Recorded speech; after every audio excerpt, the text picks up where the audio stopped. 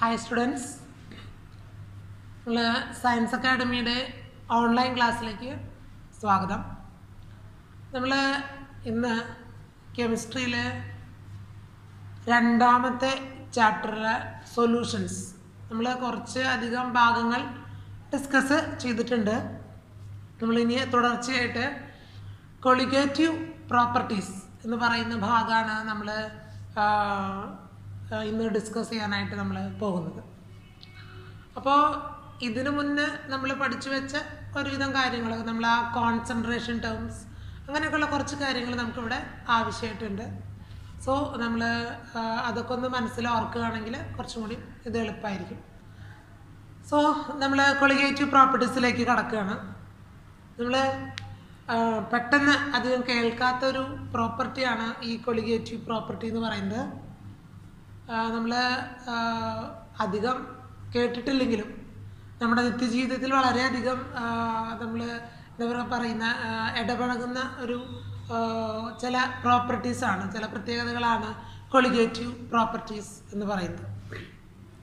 അപ്പോൾ എന്താണ് colligative properties എന്നാണ് നമ്മൾ ആദ്യം പഠിക്കാനായിട്ടുള്ളത്.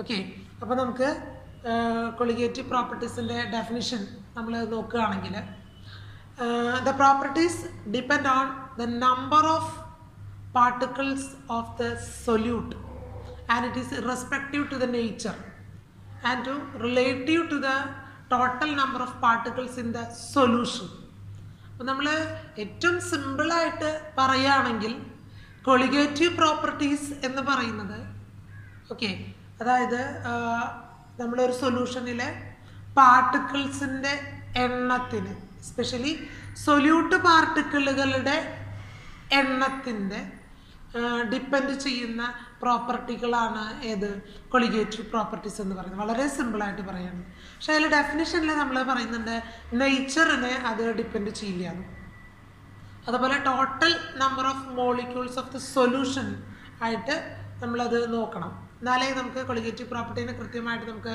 നിർവചിക്കണം അത് ആ ഒരു ഡെഫിനേഷൻ നമുക്ക് ക്ലിയർ ആയിട്ട് കിട്ടുള്ളൂ.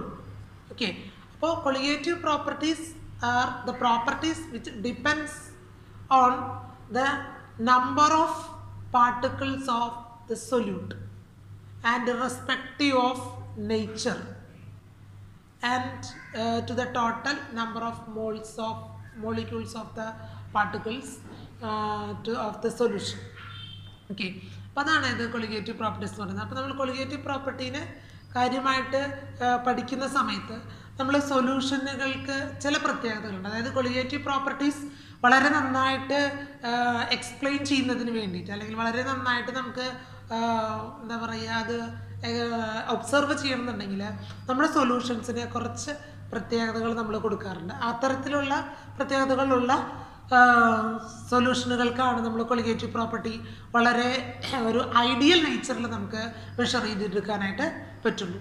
അതിൽ ഒന്നാമത്തെ ഒരു പ്രത്യേകതയാണ് സൊല്യൂഷൻസ് ഡൈലൂട്ട് ആയിരിക്കണം. ഡൈലൂട്ട് സൊല്യൂഷനുകളിലാണ് കൊളിഗേറ്റീവ് പ്രോപ്പർട്ടി വളരെ കൃത്യമായിട്ട് നമുക്ക് മെഷർ ചെയ്തിട്ട് എടുക്കാനായിട്ട് പറ്റുള്ളൂ. ഈ ഒരു ആശയം വെച്ചിട്ട് നമ്മൾ പല കൊളിഗേറ്റീവ് പ്രോപ്പർട്ടികൾ മെഷർ ചെയ്യുമ്പോൾ അതിൽ കുറേ അപ്രോക്സിമേഷനുകൾ എടുക്കാറുണ്ട്. അതായത് സൊല്യൂഷൻ ഡൈലൂട്ട് ആവുന്നു. അപ്പോൾ ആ കണ്ടീഷനിൽ കുറച്ച് അപ്രോക്സിമേഷൻസ് നമ്മൾ കൊണ്ടുവരാറുണ്ട്. ഓക്കെ അപ്പോൾ നമ്മുടെ കൊളിഗേറ്റീവ് പ്രോപ്പർട്ടീസ് മെഷർ ചെയ്യുന്ന സൊല്യൂഷനുകൾ എപ്പോഴും എന്തായിരിക്കണം? ഡൈലൂട്ട് സൊല്യൂഷനുകളായിരിക്കണം അപ്പോൾ അതിൽ നമ്മൾ പറയും ഡൈലൂട്ട് സൊല്യൂഷന്റെ പ്രത്യേകതകൾ എന്താ? അല്ലെങ്കിൽ ഡൈലൂട്ട് സൊല്യൂഷന്റെ പ്രത്യേകത എന്താ? നമ്മൾ ചോദിക്കുകയാണെങ്കിൽ അതിൽ എപ്പോഴും സോൾവെന്റ് എപ്പോഴും കൂടുതലായിരിക്കും. സൊല്യൂട്ടിന്റെ കണ്ടന്റ് വളരെ കുറവായിരിക്കും. അപ്പം അങ്ങനെയുള്ള സൊല്യൂഷനുകളിലാണ് കൊളിഗേറ്റീവ് പ്രോപ്പർട്ടി വളരെ നന്നായിട്ട് നമുക്ക് ഒബ്സർവ് ചെയ്യാനായിട്ട് പറ്റുക. അതായത് ഒരു ഐഡിയൽ നേച്ചർ അല്ലെങ്കിൽ സൊല്യൂഷൻസിന്റെ ഐഡിയൽ നേച്ചർ നമുക്ക് അവിടെ കാണാനായിട്ട് പറ്റും. എവിടെ കൊളിഗേറ്റീവ് പ്രോപ്പർട്ടീസ് നമ്മൾ മെഷർ ചെയ്യുന്ന അല്ലെങ്കിൽ ഒബ്സർവ് ചെയ്യുന്ന സമയത്ത്. ഓക്കെ നോൺ ഐഡിയൽ കേസുകളിലൊക്കെയും പൊതുവേ കൊളിഗേറ്റീവ് പ്രോപ്പർട്ടീസ് അത്ര കൃത്യമായിട്ട് അത്ര എന്താ പറയുക ഷാർപ്പായിട്ടുള്ള ചേഞ്ച് നമുക്ക് കാണാനായിട്ട് പറ്റില്ല.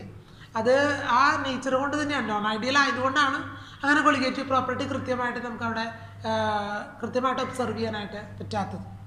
ഓക്കെ പിന്നീട് വരുന്ന ഒരു പ്രത്യേകതയാണ് പറയുന്നത് നമ്മൾ കൊളിഗേറ്റീവ് പ്രോപ്പർട്ടീസ് മെഷർ ചെയ്യുന്നത് എപ്പോഴും സൊല്യൂഷന്റെ ആണെങ്കിലും ആക്ച്വലി അത് സോൾവെന്റ് മോളിക്യൂൾസിന്റെ പ്രോപ്പർട്ടിയാണ് ആക്ച്വലി ഇപ്പോൾ നമ്മൾ ഡിസ്കസ് ചെയ്യാൻ പോകുന്ന എല്ലാ കൊളിഗേറ്റീവ് പ്രോപ്പർട്ടികളും നമ്മൾ കേൾക്കുമ്പോഴും അതിലെ സോൾവെന്റ് മോളിക്യൂളുകളുടെ പ്രോപ്പർട്ടിയാണ് ആക്ച്വലി നമ്മളവിടെ ഡിസ്കസ് ചെയ്യുന്നത്. ഓക്കെ അതായത് ഇപ്പോൾ നമ്മൾ പഠിക്കാൻ പോകുന്ന നാല് കൊളിഗേറ്റീവ് പ്രോപ്പർട്ടികൾ പിന്നീട് പറയുന്നുണ്ട്. അതായത് relative lowering in vapour pressure അതുപോലെ തന്നെ elevation in boiling point depression in freezing point then osmotic pressure അപ്പോൾ ഇവിടെ ഒക്കെ നമ്മൾ ആ vapour pressure relative lowering in vapour pressure അല്ലെങ്കിൽ വേപ്പർ പ്രഷർ മെഷർ ചെയ്യുന്നത് സോൾവെന്റ് മോളിക്യൂളിന്റെയാണ് സൊല്യൂഷന്റെ മൊത്തത്തിൽ വേപ്പർ പ്രഷർ എന്ന് പറയുമെങ്കിലും നമ്മൾ മെഷർ ചെയ്യുന്നത് അല്ലെങ്കിൽ അത് ആരുടെ പ്രഷറാണ് ശരിക്കും ആക്ച്വലി സോൾവെന്റ് മോളിക്യൂൾസിന്റെ പ്രഷറാണ് ഓക്കെ അതുപോലെ തന്നെയാണ് അടുത്തതും.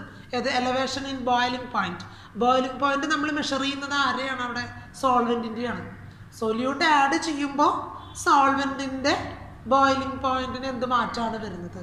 ഓക്കെ അപ്പോൾ നമ്മൾ ആക്ച്വലി കൊളിഗേറ്റീവ് പ്രോപ്പർട്ടികൾ മെഷർ ചെയ്യുന്നത് ആർക്ക് വേണ്ടിയിട്ട് തന്നെയാണ്? സോൾവെന്റിനാണ് പക്ഷെ നമ്മൾ പറയുമ്പോൾ സൊല്യൂഷന്റെയാണ് പറയുക. കാരണം ആക്ച്വലി സൊല്യൂട്ട് അവിടെ വന്നു കഴിഞ്ഞാൽ ഓൾറെഡി അത് എന്തായി? സൊല്യൂഷനായിട്ടാണ് നമ്മൾ കൺസിഡർ ചെയ്യണം. അപ്പോൾ നമ്മൾ എപ്പോഴും മെഷർ ചെയ്യുന്നത് എന്തിന്റെ പ്രോപ്പർട്ടീസാണ് സോൾവെന്റ് മോളിക്യൂളുകളുടെ പ്രോപ്പർട്ടീസാണ് ഓക്കെ പിന്നെ വേറൊരു പ്രത്യേകത എന്ന് പറയുന്നത് അവിടെ ഉപയോഗിക്കുന്ന അല്ലെങ്കിൽ നമ്മളിവിടെ ഡിസ്കസ് ചെയ്യുന്ന നാല് കൊളിഗേറ്റീവ് പ്രോപ്പർട്ടീസിലും ഉപയോഗിക്കുന്ന സോൾവെന്റ് എപ്പോഴും വോളറ്റൈൽ ആയിരിക്കണം. ഓക്കെ വോളറ്റൈൽ എന്ന് പറയുന്ന കണ്ടീഷൻ നിങ്ങൾ മുന്നേ സൊല്യൂഷൻസ് എന്ന് പറയുന്ന ചാപ്റ്ററിൽ നിങ്ങൾ മുന്നേ ഡിസ്കസ് ചെയ്തിട്ടുണ്ട്. അപ്പോൾ വോളറ്റൈൽ ആയിരിക്കണം.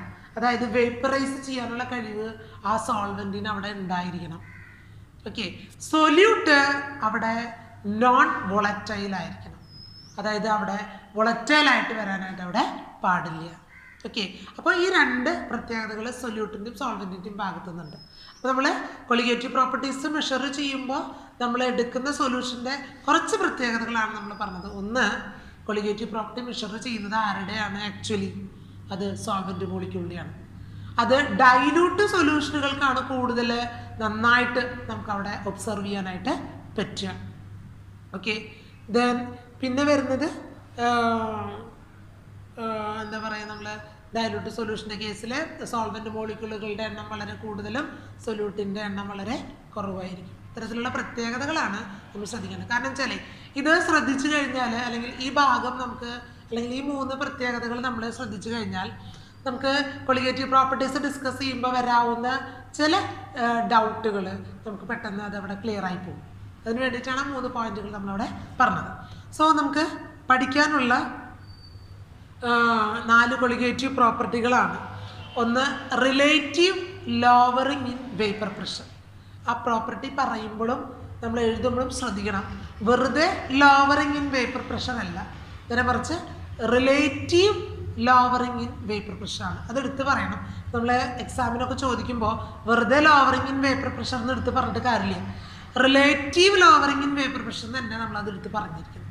Okay then രണ്ടാമത്തെയാണ് elevation in boiling point elevation in boiling point then മൂന്നാമത്തത് ഡിപ്രഷൻ ഇൻ ഫ്രീസിംഗ് പോയിന്റ് മൂന്നാമത്തെ depression in freezing point then നാലാമത്തത് ഓസ്മോട്ടിക് പ്രഷർ ഓക്കെ നാലാമത്തെ ഓസ്മോട്ടിക് പ്രഷർ അത് അവസാനത്തെ കൊളിഗേറ്റീവ് പ്രോപ്പർട്ടി നമ്മളൊന്ന് ശ്രദ്ധിക്കണം. കാരണം വെച്ചാൽ പലപ്പോഴും തെറ്റി എഴുതാറുണ്ട് ഓസ്മോസിസ് എന്ന് എഴുതാറുണ്ട് കുട്ടികളെ. അപ്പം അങ്ങനെ എഴുതാൻ പാടില്ല. ഓസ്മോസിസ് എന്ന് പറയുന്നത് ഒരു കൊളിഗേറ്റീവ് പ്രോപ്പർട്ടി അല്ല. ദെൻ ഓസ്മോട്ടിക് പ്രഷറാണ് ഏത് കൊളിഗേറ്റീവ് പ്രോപ്പർട്ടി ഓക്കെ അപ്പോൾ ഇതാണ് നാല് കൊളിഗേറ്റീവ് പ്രോപ്പർട്ടികൾ നമ്മൾ മെഷർ ചെയ്യുന്നത്. ഒന്നാമത്തത് relative lowering in vapour pressure രണ്ട് എലവേഷൻ ഇൻ ബോയിലിംഗ് പോയിന്റ് മൂന്ന് depression in freezing point then നാലാമത്തത് ഓസ്മോട്ടിക് പ്രഷർ ഇതിൽ നമ്മൾ ഓസ്മോട്ടിക് പ്രഷർ നമ്മൾ അടുത്ത ക്ലാസ്സിലാണ് ഡിസ്കസ് ചെയ്യുക അപ്പോൾ നമ്മൾ ഡിപ്രഷൻ ഇൻ ഫ്രീസിങ് പോയിന്റ് വരെയാണ് ഈ ക്ലാസ്സിൽ ഡിസ്കസ് ചെയ്യാനായിട്ട് ഉദ്ദേശിക്കുന്നത്. അപ്പോൾ നമുക്ക് ആദ്യത്തെ കൊളിഗേറ്റീവ് പ്രോപ്പർട്ടീസിലേക്ക് കടക്കുകയാണ്. അതിൽ ഒന്നാമത്തെയാണ് relative lowering in vapour pressure എന്ന് പറയുന്നത്. ഓക്കെ സോ അപ്പോൾ നമ്മൾ അത് കിടക്കണേറ്റ് മുന്നേ അല്ലെങ്കിൽ അത് പഠിക്കാൻ വേണ്ടി നമ്മൾ എന്താണ് വേപ്പർ പ്രഷർ എന്ന് അറിയണം അപ്പോൾ ഞാനതിവിടെ ഡിസ് ഡിഫൈൻ ചെയ്തിട്ടൊന്നുമില്ല വേപ്പർ പ്രഷർ എന്താണെന്ന്. കാരണം നിങ്ങൾ പ്ലസ് വണ്ണിൽ ഒരു ചാപ്റ്ററിൽ പഠിച്ചിട്ടുണ്ട്. അത് കഴിഞ്ഞിട്ട് സൊല്യൂഷൻസ് എന്ന് പറയുന്ന ചാപ്റ്ററിലാണ് നിങ്ങൾ വേപ്പർ പ്രഷറിനെ കുറിച്ചൊക്കെ നിങ്ങൾ പഠിച്ചിട്ടുണ്ട് അല്ലേ? So it is an equilibrium pressure exerted by a vapour on its own liquid surface അതാണ് ഇത് പേപ്പർ പ്രഷർ അല്ലെങ്കിൽ നമ്മൾ ഒരു ലിക്വിഡിന്റെ സർഫസിന്റെ മുകളിൽ അതിന്റെ തന്നെ വേപ്പർ എക്സേർട്ട് ചെയ്യുന്ന പ്രഷറിനെയാണ് എന്ന് പറയാൻ നമ്മൾ വേപ്പർ പ്രഷർ എന്നതുകൊണ്ട് ഉദ്ദേശിക്കുന്നത്. ഓക്കെ സോ നമുക്കിവിടെ പഠിക്കാനുള്ളത് എന്താണ്? Then relative lowering in vapour pressure അപ്പോൾ അതിലേക്ക് വേണ്ടിയിട്ട് നമ്മൾ പറയുകയാണ് ജസ്റ്റ് അപ്പോൾ നമ്മൾ ഇനി പറയാൻ പോകുന്ന കണ്ടീഷനുകൾ പെട്ടെന്ന് ക്ലിയർ ആവണമെങ്കിൽ നമ്മൾ പറഞ്ഞു നേരത്തെ പറഞ്ഞ മൂന്ന് കാര്യങ്ങളൊന്നും ആലോചിച്ച് വെക്കണം. ഒന്ന് സോൾവന്റ് വൊളറ്റൈൽ ആയിരിക്കണം. സൊല്യൂട്ട് നോൺ വൊളറ്റൈൽ ആയിരിക്കണം. സൊല്യൂഷൻ ഡൈലൂട്ട് കണ്ടീഷനിലായിരിക്കണം ഓക്കെ അപ്പോൾ നമ്മൾ ഒരു സോൾവെന്റ് എടുത്തിരിക്കണം ഓക്കെ അപ്പോൾ സോൾവെന്റ് നമ്മൾ ഒരു പർട്ടിക്കുലർ ടെമ്പറേച്ചറിലും പർട്ടിക്കുലർ എക്സ്റ്റേണൽ പ്രഷറിലും നമ്മൾ അടച്ചു വെച്ചിരിക്കുകയാണ്. അപ്പോൾ അതിന്റെ വേപ്പർ ആ സൊല്യൂ എന്താ പറയുക സോൾവെന്റിന്റെ മുകളിൽ നിൽക്കുന്നുണ്ടാവും വേപ്പറൈസേഷൻ നടന്ന് സോൾവെന്റിന്റെ മോളിക്കുള്ളുകൾ മുകളിൽ ഇങ്ങനെ തങ്ങി നിൽക്കുന്നുണ്ടാവും. അപ്പോൾ അതിന് ഒരു വേപ്പർ പ്രഷർ ഉണ്ട് എന്ന് നമുക്ക് അവിടെ പറയാനായിട്ട് പറ്റും. ഓക്കെ ഇനി നമ്മൾ ഇതേ സോൾവെന്റിലേക്ക് നമ്മൾ കുറച്ച് നോൺ വോളറ്റൈൽ സൊല്യൂട്ടിനെ ആഡ് ചെയ്യാണ്. ഓക്കെ എന്ത് സൊല്യൂട്ട് ആഡ് ചെയ്യണമെന്ന് നമ്മൾ പറഞ്ഞേ? Non volatile solute for example ഉപ്പോ sodium ക്ലോറൈഡോ അല്ലെങ്കിൽ യൂറിയ അല്ലെങ്കിൽ ഗ്ലൂക്കോസ് ഇതിലേതെങ്കിലും കുറച്ച് സൊല്യൂട്ട് നമ്മൾ അതിലേക്ക് ആഡ് ചെയ്യണം ഇനി നമ്മൾ അതേ ടെമ്പറേച്ചറിലും അതേ എക്സ്റ്റേണൽ പ്രഷറിലും വെക്കുകയാണെങ്കിൽ നമുക്ക് ഇനി വേപ്പർ പ്രഷർ മെഷർ ചെയ്താൽ അവിടെ കുറവായിരിക്കും. കുറച്ച് വേപ്പർ പ്രഷർ അവിടെ എന്ത് ചെയ്യും? അവിടെ കുറയും. ഓക്കെ അപ്പോൾ ഇങ്ങനെ വേപ്പർ പ്രഷറിൽ കുറവുണ്ടാവും. അതായത് ഒരു വൊളറ്റൈലായിട്ടുള്ള സോൾവെന്റിലേക്ക് ഒരു നോൺ വൊളറ്റൈൽ സൊല്യൂട്ട് ആഡ് ചെയ്യുമ്പോൾ അതിന്റെ വേപ്പർ പ്രഷർ എന്ത് ചെയ്യും അവിടെ? കുറയും. ഓക്കെ അതെന്തുകൊണ്ടാണ് നമുക്ക് കൃത്യമായിട്ടുള്ള വലിയൊരു എക്സ്പ്ലനേഷൻ ഒന്നും നമുക്ക് ഈ ഭാഗത്ത് പഠിക്കുന്നില്ല? എന്നാലും ജസ്റ്റ് ഒന്ന് പറയുകയാണ് നമ്മൾ ഓക്കെ ഇപ്പം നമ്മളൊരു സോൾവെന്റ് ആ സോൾവെന്റ് എന്ത് ചെയ്യുന്നു? വേപ്പറൈസ് ചെയ്യുന്നു. ക്ലിയർ ഇതിലേക്ക് നമ്മളൊരു നോൺ വൊളറ്റൈൽ സൊല്യൂട്ട് ഡിസോൾവ് ചെയ്യുകയാണെങ്കിൽ അതിന്റെ പ്രത്യേകത എന്ന് വെച്ചിട്ടുണ്ടെങ്കിൽ അവിടെ സോൾവെന്റ് മോളിക്യൂളും സൊല്യൂട്ട് മോളിക്യൂളുകളും തമ്മിൽ ഒരു ഇന്ററാക്ഷൻ വരും ഒരു അട്രാക്ഷൻ അവിടെ വരുന്നു. അതുകൊണ്ടാണല്ലോ അത് സോൾവ് ചെയ്ത് പോകുന്നത്. ഓക്കെ അപ്പോൾ ഈ നോൺ വോളറ്റൈൽ നേച്ചർ സോൾവെന്റിലേക്ക് കയറി വരുമ്പോൾ സോൾവെന്റിന്റെ മോളിക്യൂൾ അത് ഉപയോഗിച്ച് അവിടെ ഓൾറെഡി ഹെൽഡ് ചെയ്ത് കിടക്കും. അപ്പോൾ നേരത്തെ അതായത് സോൾവെന്റ് പ്യുവർ സ്റ്റേറ്റിൽ നടന്ന ഇവാപ്പറേഷനേക്കാളും കുറച്ച് വാപ്രേഷൻ ഇവിടെ കുറയും. അല്ലെങ്കിൽ വേപ്പറൈസേഷൻ ഇവിടെ എന്ത് ചെയ്യും? കുറയും. സോ അതിനനുസരിച്ചിട്ട് വേപ്പറിന്റെ കണ്ടന്റ് വേപ്പർ സ്റ്റേറ്റിൽ കുറയുകയും. വേപ്പറിന്റെ കണ്ടന്റ് വേപ്പറിന്റെ അതായത് ലിക്വിഡിന്റെ സൊല്യൂഷന്റെ മുകളിൽ നിൽക്കുന്ന ആ വേപ്പറിന്റെ കണ്ടന്റ് കുറച്ച് എന്ത് ചെയ്യും? അവിടെ കുറയും. അപ്പോൾ വേപ്പർ പ്രഷറും എന്ത് ചെയ്യും? അവിടെ കുറയും. അപ്പോൾ ഇങ്ങനെ വേപ്പർ പ്രഷർ എന്ത് ചെയ്യും? അവിടെ കുറയും. ഓക്കെ ഇത് ഒരു കൊളിഗേറ്റീവ് പ്രോപ്പർട്ടിയാണ് കാരണം എന്താണെന്ന് വെച്ചാൽ അത് നമ്പർ ഓഫ് പാർട്ടിക്കിൾസിനെയാണ് എന്ത് ചെയ്യണം അവിടെ ഡിപ്പെൻഡ് ചെയ്യുന്നത്. ഓക്കെ അത് അതിന്റെ ഡെറിവേഷനൊന്നും നമുക്കില്ല അധികം പഠിക്കാൻ. നമ്മൾ പഠിക്കുന്നത് എവിടെ നിന്നാണ് അത് റോൾസ് ലോയിൽ നിന്നാണ്. ഓൾറെഡി നമ്മൾ റോൾസ് ലോ ഒക്കെ പഠിച്ചു കഴിഞ്ഞതാണ്. ഓക്കെ റോൾസ് ലോന്റെ എക്സ്പ്രഷൻ നിങ്ങൾക്ക് ഓർമ്മയുണ്ടാവണം. Then P one equal to P one zero into chi one അതായത് സൊല്യൂഷനിൽ നിൽക്കുമ്പോൾ ഉള്ള വേപ്പർ പ്രഷറാണ് പി വൺ ഓക്കെ ദെൻ അത് നമ്മൾ ഇവിടെ എഴുതിയിട്ടില്ല. എന്നാലും നിങ്ങൾക്ക് റോൾസിലോ പഠിച്ച ആ ഒരു ഓർമ്മയെന്ന് പറയാൻ വേണ്ടിയിട്ടാണ് ഞാനിവിടെ പറയുന്നത് സോ പി വൺ എന്ന് പറയുന്നത് ദെൻ സോൾവെന്റിലേക്ക് സൊല്യൂട്ട് ആഡ് ചെയ്ത് കഴിഞ്ഞതിന് ശേഷം സൊല്യൂഷൻ ആയതിന് ശേഷം ഉള്ള വേപ്പർ പ്രഷറാണ് അതായത് പി വൺ എന്ന് പറയുന്നത് ആക്ച്വലി സൊല്യൂഷന്റെ വേപ്പർ പ്രഷറാണ് ഓക്കെ ക്ലിയർ അത് സോൾവെന്റിന്റെയാണ് നമ്മൾ മെഷർ ചെയ്യുന്നതെങ്കിലും ദെൻ നമ്മൾ സൊല്യൂഷന്റെ വേപ്പർ പ്രഷർ ആയിട്ടാണ് നമ്മളത് പറയുക. Okay then P one zero എന്ന് പറയുന്നത് സോൾവെന്റ് പ്യുവർ സ്റ്റേറ്റിൽ ഇരിക്കുമ്പോൾ എക്സേർട്ട് ചെയ്യുന്ന വേപ്പർ പ്രഷറാണ് അതായത് അവിടെ സൊല്യൂട്ട് ഇല്ല. സോൾവെന്റ് മാത്രമേ ഉള്ളൂ. സോൾവെന്റിന്റെ പ്യുവർ സോൾവെന്റിന്റെ വേപ്പർ പ്രഷറാണ് ഇത് പി വൺ സീറോ എന്ന് പറയുന്നത്. കൈ വൺ മീൻസ് ആ സോലു ആ സൊല്യൂഷനിൽ ഇപ്പോൾ സൊല്യൂട്ട് ഇട്ട് കഴിഞ്ഞതിന് ശേഷം കിട്ടിയ സൊല്യൂഷനിൽ ദെൻ സോൾവെന്റിന്റെ മോൾ ഫ്രാക്ഷൻ ഓക്കെ അത് നിങ്ങൾ പഠിച്ചു വെച്ചിട്ടുണ്ട്. ആ എക്സ്പ്രഷനിൽ നിന്നാണ് നമ്മൾ എന്ത് ഡിറൈവ് ചെയ്യണേ? ഈ റിലേറ്റീവ് ലോവറിങ് ഇൻ വേപ്പർ പ്രഷറിനെ ഡിറൈവ് ചെയ്തെടുക്കണം. ഓക്കെ അപ്പോൾ അതിലേക്ക് കിടക്കുന്നതിന് മുന്നേ എന്താണ് ലോവറിങ് ഇൻ വേപ്പർ പ്രഷർ എന്ന് നമ്മൾ ജസ്റ്റ് ഒന്ന് ഇവിടെ പറയുന്നു. നമുക്കറിയാം ഒരു സോൾവെന്റ് നമ്മൾ കൺസിഡർ ചെയ്യുന്നു. അതിന്റെ വേപ്പർ പ്രഷർ പ്യുവർ സ്റ്റേറ്റിലുള്ള വേപ്പർ പ്രഷർ എന്ന് പറയുന്നത് പി വൺ സീറോ ആണ്. കുറച്ച് സൊല്യൂട്ട് നോൺ വൊളറ്റൈൽ ആയിട്ടുള്ള സൊല്യൂട്ട് അതിലേക്ക് ആഡ് ചെയ്തപ്പോൾ അതിന്റെ വേപ്പർ പ്രഷർ എന്ത് ചെയ്തു അവിടെ? കുറഞ്ഞു. സോ പുതിയ വേപ്പർ പ്രഷർ പി വൺ എന്നാണ് നമ്മൾ എഴുതുന്നത്. സോ എത്ര കുറഞ്ഞു എന്ന് കണ്ടുപിടിക്കണമെങ്കിൽ എന്ത് ചെയ്യണം? കൂടിയതിൽ നിന്ന് നാച്ചുറലി കൂടിയതിൽ നിന്ന് കുറഞ്ഞുള്ളത് കുറയ്ക്കുക സബ്ട്രാക്ട് ചെയ്യുക. അപ്പോൾ നമ്മൾ പറഞ്ഞു വേപ്പർ പ്രഷർ കുറയുകയാണ് ചെയ്യുന്നത് അല്ലേ? ലോവർ ചെയ്യുക ചെയ്യണേ അപ്പോൾ പി വൺ എന്ന് പറയുന്നത് കുറവും പി വൺ സീറോ എന്ന് പറയുന്നത് കൂടുതലായിരിക്കും അപ്പോൾ ലോവറിങ് ഇൻ വേപ്പർ പ്രഷർ എന്ന് പറയുന്നത് P one zero minus P one ആണ്. അതിനെയാണ് അവിടെ എന്ത് ചെയ്തിരിക്കുന്നത്? ഡെൽറ്റ പി വൺ വേപ്പർ പ്രഷറിൽ ഉണ്ടായിട്ടുള്ള ചേഞ്ച് സോൾവെന്റ് മോളിക്യൂളുകളുടെ വേപ്പർ പ്രഷറിൽ ഉണ്ടായിട്ടുള്ള ചേഞ്ചിനെയാണ് ഡെൽറ്റ പി വൺ എന്നുകൊണ്ട് നമ്മളോട് ഉദ്ദേശിച്ചിരിക്കുന്നത് so that is P one zero minus P one ഇനി ഇതിൽ നിന്ന് നമ്മൾ ഡിറൈവ് ചെയ്തെടുക്കുന്ന അതായത് ഞാൻ നേരത്തെ പറഞ്ഞില്ലേ റോൾസ് ലോയിൽ നിന്ന് ഡിറൈവ് ചെയ്തെടുക്കുന്ന ഒരു എക്സ്പ്രഷനാണ് അവിടെ കൊടുത്തിരിക്കുന്നത്. ഡെറിവേഷൻ ആവശ്യമില്ലാത്തതുകൊണ്ടാണ് ഇതിൽ ഉൾപ്പെടുത്താത്തത് കേട്ടോ. അപ്പോൾ നിങ്ങളത് ടെക്സ്റ്റിൽ നോക്കിയാൽ വളരെ കൃത്യമായിട്ട് കാണാം. വലിയ മാറ്റമൊന്നുമില്ല. അതായത് P one equal to P one zero into chi one എഴുതിയിട്ടുണ്ടല്ലോ. അതിൽ കൈ വണ്ണിൽ വേണമെങ്കിൽ ജസ്റ്റ് ഈ പറയുന്നതിന്റെ ഒപ്പം നിങ്ങളൊന്ന് എഴുതി പോവുകയാണെങ്കിൽ പെട്ടെന്ന് ക്ലിയർ ആവും.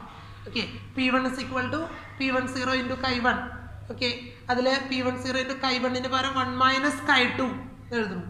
So P one zero into one minus P one zero into chi one അപ്പോൾ അതിൽ നിന്ന് റീഅറേഞ്ച് ചെയ്താലേ നമ്മൾ ഈ പറഞ്ഞിരിക്കുന്ന ഫോമിലേക്ക് കിട്ടും നമുക്ക്. ഒരു എളുപ്പമാണ് ഞാനത് ഇൻക്ലൂഡ് ചെയ്തിട്ടില്ല എന്നേ ഉള്ളൂ. അപ്പോൾ ജസ്റ്റ് നിങ്ങളൊന്ന് എഴുതി നോക്കുക വളരെ എളുപ്പമാണ്. റീഅറേഞ്ച് ചെയ്താൽ കിട്ടാവുന്ന ഒരു എക്സ്പ്രഷനാണ് അത് ഓക്കെ അപ്പോൾ ആ റോൾസ് ലോയിൽ നിന്ന് ഡ്രൈവ് ചെയ്തെടുക്കണം. അല്ലെങ്കിൽ റീഅറേഞ്ച് ചെയ്തെടുക്കുന്ന എക്സ്പ്രഷനാണ് കൊടുത്തിരിക്കുന്നത് എന്ത്? P one zero minus P one divided by P one zero is equal to chi two okay അപ്പോൾ ഇവിടെ നോക്കും നമ്മൾ ആ റൈറ്റ് സൈഡ് ഒന്ന് നോക്കിയേ. കൈ ടു മാത്രമേ ഉള്ളൂ. നമ്പർ ഓഫ് മോൾസിന്റെ ഒരു റേഷ്യോ ആണ്. അതായത് number of moles of particles ആണ് ഏത്? ഈ കൈട്ട് അതായത് ഈ പ്രോപ്പർട്ടി ലെഫ്റ്റ് സൈഡിൽ കിടക്കുന്ന പ്രോപ്പർട്ടി എന്താണ്? നമ്പർ ഓഫ് മോൾസിനെയാണ് ഡിപ്പെൻഡ് ചെയ്യുന്നത്. അതുകൊണ്ട് relative lowering in vapour pressure എന്താണ്? ഒരു കൊളിഗേറ്റീവ് പ്രോപ്പർട്ടിയാണ് സോറി നമ്മൾ ആ പറയാൻ അതിലൊന്ന് വിട്ടുപോയിട്ടുണ്ട്. ആ delta P one by P one zero അതാണ് relative lowering in vapour pressure കേട്ടോ ഡെൽറ്റ പി വൺ എന്ന് പറയുന്നത് ലോവറിംഗ് ആയിട്ടുള്ളൂ. Delta P one by P one zero ആണ് relative lowering in vapour pressure എന്ന് പറയുന്നത്. അതാണ് നമ്മുടെ കൊളിഗേറ്റീവ് പ്രോപ്പർട്ടി ഓക്കെ അപ്പം ലെഫ്റ്റ് സൈഡിൽ കിടക്കുന്ന ഭാഗം ഉണ്ടല്ലോ. Delta P one by P one zero അതാണ് relative lowering in vapour pressure ചില പ്രോബ്ലത്തിലൊക്കെ വരുമ്പോൾ നിങ്ങളോട് കാൽക്കുലേറ്റ് കാൽക്കുലേറ്റ് ചെയ്യാൻ ചോദിക്കും. Calculate the relative lowering in vapour pressure simply mole fraction കണ്ടുപിടിച്ചാൽ ആൻസർ ആയി. കാരണം relative lowering in vapour pressure is equal to chi two ആണ്. അതായത് സൊല്യൂട്ടിന്റെ മോൾ ഫ്രാക്ഷൻ ആണ് എന്ത്? അവിടുത്തെ relative lowering in vapour pressure എന്ന് പറയുന്നത്. അപ്പോൾ വലിയ കാര്യത്തിൽ കുറേ കാര്യങ്ങളൊക്കെ ഡിസ്കസ് ചെയ്ത് അവർ തന്നിട്ട് ക്വസ്റ്റിൽ തന്നിട്ട് കാൽക്കുലേറ്റ് ദ റിലേറ്റീവ് ലോവറിംഗ് എന്നൊക്കെ പറഞ്ഞ് തരും ചിലപ്പോൾ ഓക്കെ നമ്പർ ഓഫ് മോൾസ് ഒക്കെ തന്നിട്ട്. അപ്പോൾ നിങ്ങൾ കാർഡ് കയറി ചിന്തിക്കാനൊന്നും പോകണ്ട ഈ relative lowering in vapour pressure എന്ന് പറയുന്നത് തന്നെയാണ് എന്ത് എന്ത് തന്നെയാണ്? നമ്മുടെ മോൾ ഫ്രാക്ഷൻ തന്നെയാണ്. ഓക്കെ സിമ്പിളാണ് ഈ ഭാഗത്തൊക്കെ സിമ്പിളായിട്ടുള്ള പ്രോബ്ലങ്ങളെ വരുള്ളൂ. നമുക്ക് ഡിസ്കസ് ചെയ്യാം. ഇതൊക്കെ കഴിയുമ്പോൾ നമുക്ക് പ്രോബ്ലത്തിന്റെ സെക്ഷൻ ഉണ്ട്. ഓക്കെ ദെൻ അപ്പോൾ നമ്മൾ relative lowering in വേപ്രഷാണ് delta P one by P one zero is equal to chi two എന്ന് പറയുന്നത്. ഇതിൽ കൈ ടുവിന്റെ എക്സ്പ്രഷനിൽ നിങ്ങൾ പഠിച്ചിട്ടുണ്ടാവണം. എന്ത്? Chi two is equal to N two by N one plus N two ഇതൊക്കെ നിങ്ങൾ മുന്നേ ഡിസ്കസ് ചെയ്തിട്ടുള്ളതാണ്.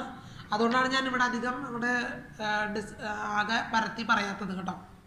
അപ്പോൾ already chi two equal to N two by N one plus N two ആണ് ഇവിടെ കൊടുത്തിരിക്കുന്നത് ഓക്കെ അതിൽ നമ്മൾ പറഞ്ഞു സൊല്യൂഷൻ എപ്പോഴും ഡൈലൂട്ട് സൊല്യൂഷനുകളാണ് ഡൈലൂട്ട് എന്ന് പറഞ്ഞാൽ എന്താ ഉദ്ദേശിക്കുന്നത് നമ്മൾ പറഞ്ഞു നേരത്തെ സോൾവെന്റിന്റെ കണ്ടന്റ് കൂടുതലായിരിക്കും. അതായത് എൻ വണ്ണിനെയും എൻ ടുവിനെയും നമ്മൾ കമ്പയർ ചെയ്യുമ്പോൾ അതായത് സോൾവെന്റിന്റെ നമ്പർ ഓഫ് മോളിനെയും സൊല്യൂട്ടിന്റെ നമ്പർ ഓഫ് മോളിനെയും നമ്മൾ കമ്പയർ ചെയ്യുമ്പോൾ എൻ വൺ വളരെ കൂടുതലായിരിക്കും. ഫോർ എക്സാമ്പിൾ എൻ വൺ പത്ത് മോളുണ്ട്. എൻ ടു പോയിന്റ് വൺ മോളേ ഉള്ളൂ എന്ന് വിചാരിക്കും. ഓക്കെ അപ്പോൾ എൻ വൺ എന്ന് പറയുന്നത് വളരെ കൂടുതലും എൻ ടു എന്ന് പറയുന്നത് വളരെ കുറവാണ്. പോയിന്റ് വണ്ണേ ഉള്ളൂ. അപ്പോൾ ഇത് രണ്ടും കൂടി കൂട്ടി വയ്ക്കുക ten plus point one ten point one it's approximately equal to ten എന്ന് വേണമെങ്കിൽ നമുക്ക് പറയാം. അപ്പോൾ അതുപോലെ ഒരു കൺക്ലൂഷൻ നമ്മളവിടെ കൊണ്ടുവരികയാണ്. ഇതേ കൺക്ലൂഷൻ അല്ല സോറി ഇതേ ഒരു കൺക്ലൂഷൻ അല്ല എന്ന് പറയാം. ഇതേ ഒരു അപ്രോക്സിമേഷൻ നമ്മളവിടെ കൊണ്ടുവന്നിട്ടുണ്ടായിരുന്നു. മുന്നേ പഠിച്ചപ്പോൾ അതായത് നമ്മൾ ഡാൾട്ടൻസ് ലോ ഒക്കെ പഠിക്കുമ്പോൾ കൊണ്ടുവരുന്നുണ്ട്.